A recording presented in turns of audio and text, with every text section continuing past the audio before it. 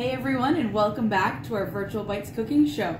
Uh, this week we are on to our main course and what we're doing is we're going to be doing a sheet pan dinner. So it's got our carbohydrate, our, we're using potatoes, it's got our protein and our veggies. The other thing that this is really good for is it's kind of, it's cold outside, like really cold, and no one really wants to go anywhere. And so by making a meal like this, you can even use it for your lunch prep. You can put everything together and then portion it off later into containers for the whole week and do all your cooking at once. And that way you don't have to be venturing out every day to the grocery store. We can uh, do an entire meal prep uh, right here. Um, so today, uh, afterwards, Jess and I are going to be taking everything we've made and we're going to use that for our lunch for the next few days. Um, maybe we'll let some of the other staff have some food too. Um, so we're just going to jump right in. Everything for this video has been pre-portioned out, so if you're following along from home with our cooking program, it's the same kits you have at home if you need the recipe. Um, it is posted in the comments section below.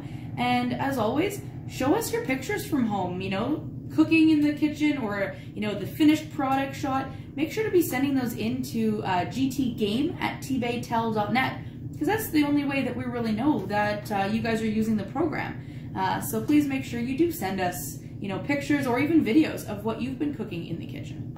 So we're gonna jump in over here. So we're gonna come all the way over here today, Jess. Wrapped up here, I've got my chicken breasts. Those are defrosted and I'm not, uh, I've got them with some paper towel just soaking up any excess water.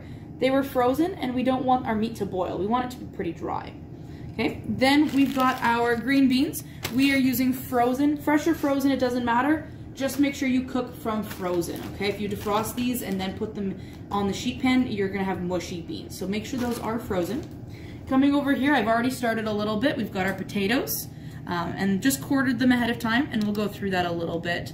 I've kept the skin on mine. I like the skin. It adds a little bit of an extra flavor, texture, and the skin is actually really healthy for you. There's a lot of benefits in there, a lot of vitamins and nutrients. So we're keeping the skin on. We are then going to be coming over here. We've got our Parmesan cheese.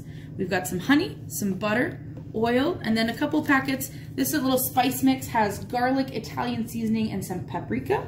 And then this package here has fresh garlic, salt, and pepper. So what we're gonna do is we're gonna assemble everything, and then we're gonna make a glaze to go over it with all the great seasonings.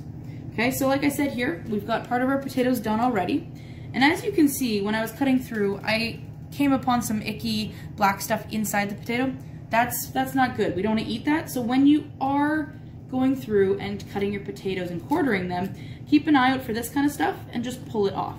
Because this is more of a dinner meal with roasted potatoes, um, I don't want them too small because they're gonna, you know, they might shrivel up and I won't have too much potato left. I want enough to eat, okay? And again, when we're dicing, we always make sure that we have even sizes. So I'm going through and I'm trying to make, yeah, see, look, there's the, some yuck on that potato as well. We just go ahead and cut that out. Okay, and I've washed these, give them a good scrub down, and we want these to roughly all be the same size. And you can see on the edges, same thing, there are some bits here. And all you need to do, grab a smaller knife, we call this a paring knife, and very carefully get an adult to help you with this, as you can just kind of take off a little bit so we don't waste that good potato. Cut this up half here and half here. So roughly all the same size. And I'm just going through and very carefully taking off any of the parts of the potato that aren't going to be edible.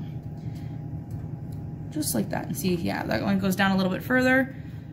Just be very careful when you're doing this. But once you clean off the yucky, um, then it's totally fine to use. You don't have to throw away the whole potato, um, just like that. There we go. And even though you can tell in the skin, sometimes you can see from the outside it's not gonna look very nice. And so then we definitely don't want, yeah, see it extends all the way through. So I'll give that a cut and a cut, and it might be a smaller piece of potato, but we definitely know that all in there is not going to be any good.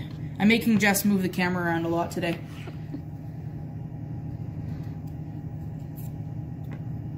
Yeah, a little bit there. And I mean, sheet pan dinners are great for the other reason that clean up afterwards. We are going to be cooking everything right on one pan. And so, you know, we're only gonna have to really wash our one prep pot and the tools here and then the tools that we eat with.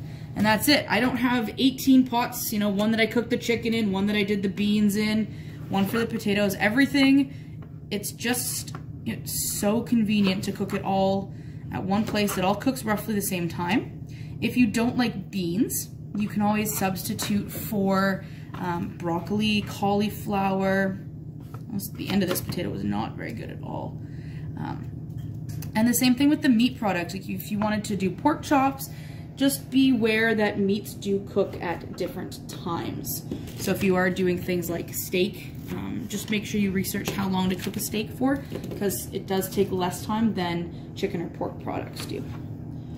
Okay, I'm just going through making sure all of my potatoes aren't too, too big because we do want them to cook in the right amount of time. I think that looks pretty even through there. Couple big, big guys. Nice wholesome meal that we're making today. Okay, so that looks pretty good for the potatoes. Next, we're gonna come through here. Now, this is a quite a large bag of beans. That's, I mean, I love beans, but probably not that many. So when uh, you're doing this at home, you can just cut a top section off, just like that. We're only gonna put a little bit out. I'm not even gonna measure these.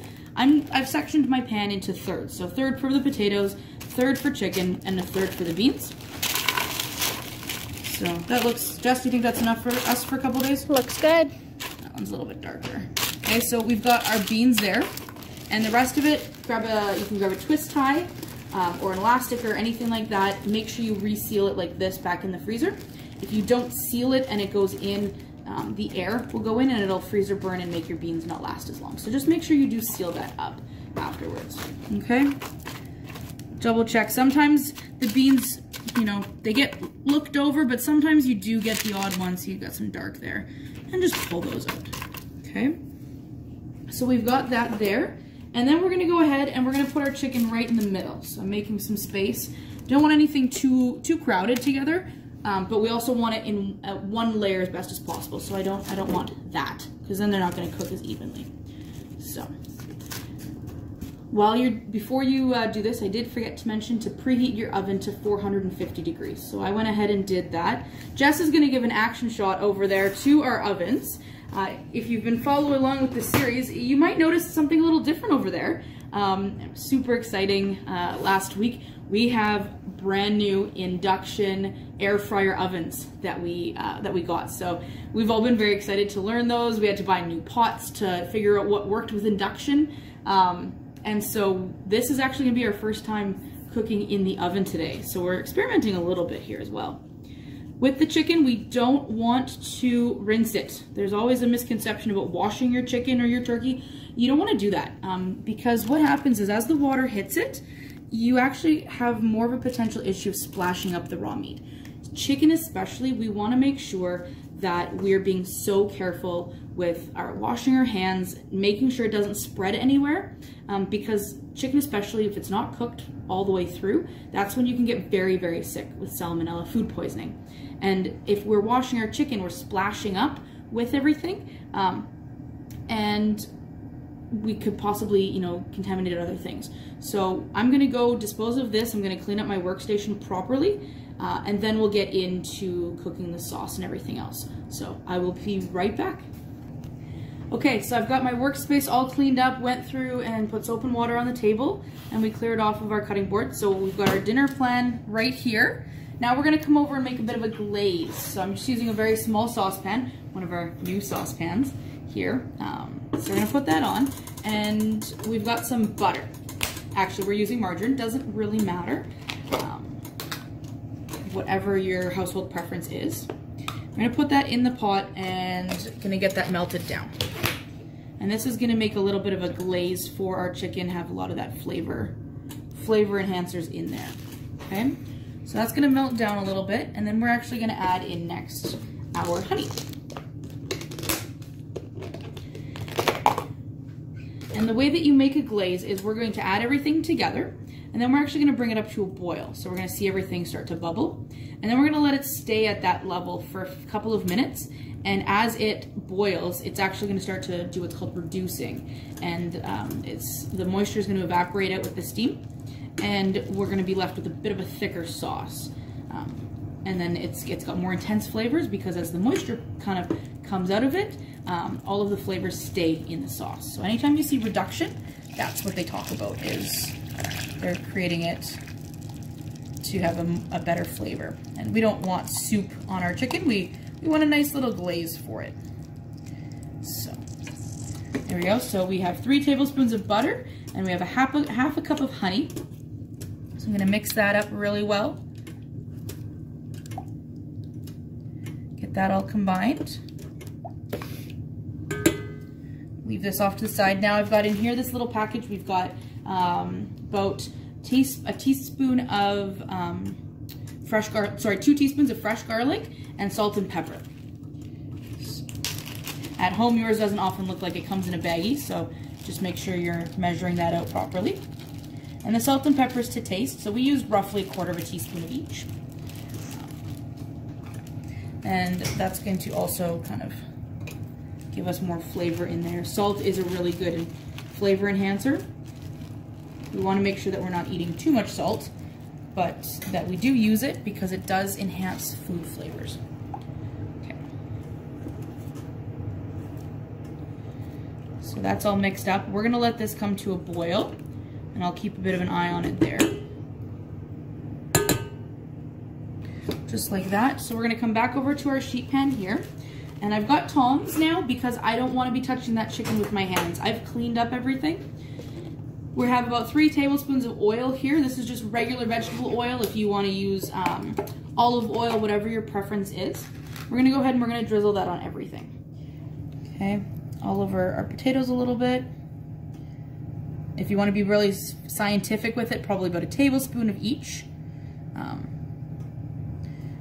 over each third of the pan. I like to put a little bit extra on my potatoes. So drizzle that whole thing over.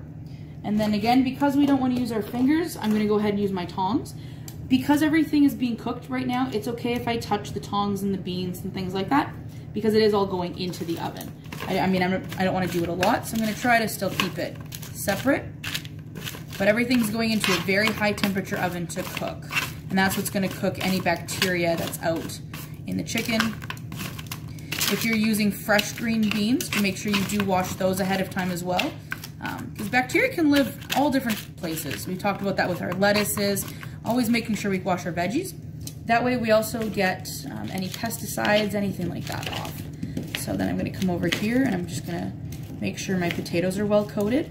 This will help to, um, for flavor, but it'll also help that they don't stick. You'll notice I put parchment paper down and that they give us a nice, kind of, they crisp up nicely.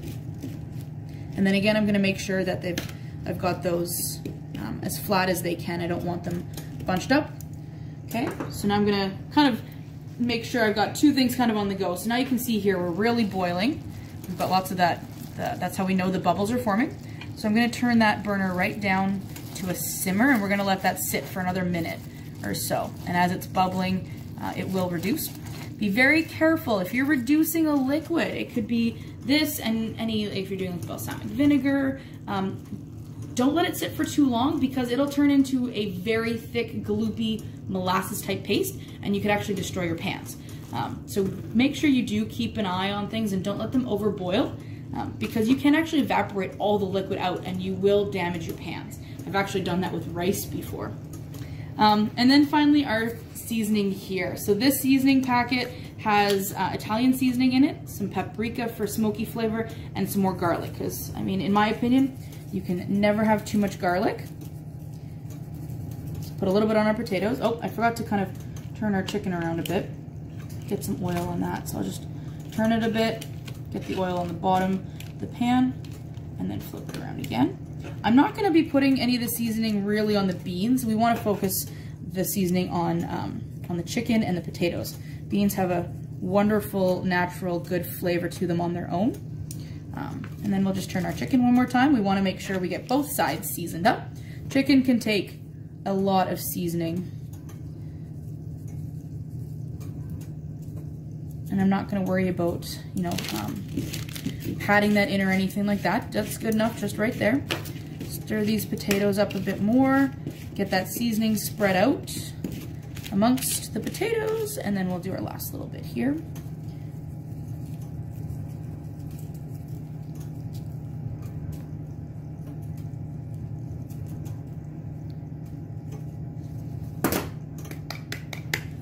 Get all goodness out of there.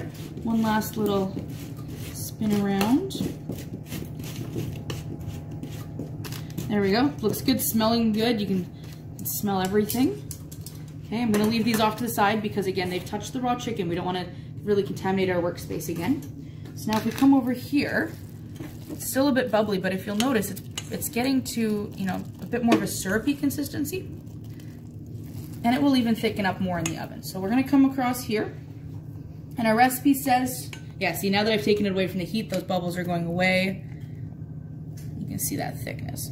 So we're just gonna go ahead and drizzle this over top of our chicken. Nice little glaze for the chicken, right there. And it's good, you wanna, you might think that as we're pouring this, it's gonna um, dissipate all of the seasonings that we just put. They're just gonna stick to the chicken. So you wanna make sure you always season your meat first and then when you add a sauce on, it'll still stick in there. So I'm gonna go ahead and turn those chickens around again because I do want to make sure those are nicely coated with this fantastic honey sauce. Like that. And you'll notice it's going all over the pan and that's okay because we're making one sheet pan dinner and if it spreads a little bit, it's just extra flavor. Okay, so we're gonna go ahead and pop this in the oven um, the there. We're gonna pop this in the oven for 20 to 25 minutes. We're looking for our potatoes to turn a golden brown, um, where the beans are gonna look a bit of a brighter green color. And the chicken, and again, we've talked about this before with meat.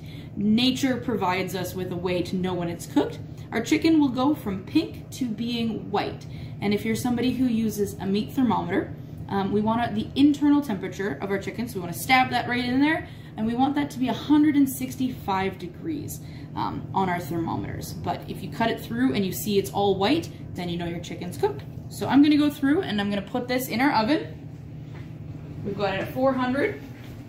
Because I don't know this oven as much as the old ones, I'm definitely gonna put the oven mitts on because um, we might have a different temperature. Our old ovens were older, um, so they might not have been heating up. Oh yeah, this is high. You don't want to waste too much time getting that in. We're going to the middle rack right here. We're using convection, which means that there's a fan at the back that's going to circulate the air and cook it at a more even temperature. And we're going to go ahead. Um, I did check this earlier, but uh, I think I remember. Nope, that's not the. There we go, timer. And we're going to cook this for 20 minutes, and then we can come back and check. Let's see, I think I just leave it like that. There we go. Okay, I think it's gonna work. If not, I'm gonna set a backup timer on my phone just in case as we, you know, always make sure when we're learning new things. Um, yeah, I'm not quite sure if that's gonna work or not. I might have to go back and read in the manual. So uh, we're gonna let that chill out in there. Yeah, that didn't work. I'm gonna figure that out, put my phone timer on, and we'll see you in roughly 20 to 25 minutes. Hey everyone, so um, we did go back and check our chicken uh, about 20 minutes in and found that it was still uh, a little ways away, so we ended up doing for another uh, 10 minutes. So on your recipes, we'll change that uh, to make sure you do at least 30 minutes, um, but check halfway through and also give those potatoes a bit of a stir. Um, that's why these videos are great. We learn as you learn and then uh, we work out the kinks for you. Um, you also might have noticed I have a, a chapeau. Um, while we were baking, really exciting, I didn't realize uh, Albert had gotten us some chef hats have here and they arrived, so thought I'd give it a try and look a little more professional in here. Uh, so we're gonna go ahead and pull this out. Don't uh, put your face in right away because it is quite hot. We've got our oven mitts on. So you can see our chicken is turned uh, nice white color. We've got the brown of the potatoes. So here I've got my meat thermometer. I'm just gonna grab the thickest part of the chicken. This breast is a little thicker, and I'm gonna put that right in here. Just like that, and you can actually see on the camera there. We're looking for 165 internal temperature to know that our chicken is done. You can pretty much gather that it's done because it is all white, but we want to just double check that we are going up. So we've hit that 160 mark and we are well on to 170. So our chicken is definitely done. Um, so we've got that there and our potatoes look fantastic. They've browned up a bit. Our beans have cooked. I'm um, gonna turn the oven off. We realized that with this particular oven, you press timer to set it on, put our time in, and then press timer again. Um, in case you're all waiting to see how we um, figured that one out too, um, we, we, we did get going on that. So we're gonna come on back over to the table here. And we've got one last finishing touch that we have not used at all yet, and that is our Parmesan cheese. Beans and Parmesan cheese go fantastic together, so we're gonna give a little sprinkle there. You wanna do this while it is still hot. Okay, we've got a couple of tablespoons that we're working with, and I like cheese on everything, so I'm gonna add it to the potatoes as well. And it'll just finish off with a nice, nice little flavor. Parmesan cheese, um, it's got more of that bite to it, which will complement that honey really nicely. Um, because I left my tongs over, actually no, I'm gonna go get my tongs. I'm so excited about my hat, I forgot my tongs. Um, so we're just gonna kind of mix that up a little bit, just like that. Get the cheese coated all over, all over the beans, like that. Give those potatoes a bit of a stir, like that. We did notice that we may have cut our potatoes a tad too big um, because they also did take a little bit longer, so um, play around, learn what works best for you. Um, and that's it. So we can take this, divide it out, cool it, and use it for lunches. Um, we've got our supper. It's all right here, ready to go. There's no other pans we have to clean up. And that parchment paper will make it super easy to clean the pan underneath.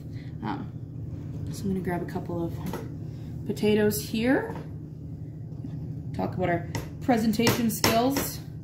I'm gonna grab a piece of chicken put that on the plate. I mean, three potatoes isn't really enough potato, is it? There we go. Kind of stack them up a little bit, make them look fancy. And uh, our green beans, uh, let's go right on the top. Drop one there. Off to the side, just like that. A little bit there. And I'm actually gonna grab a spoon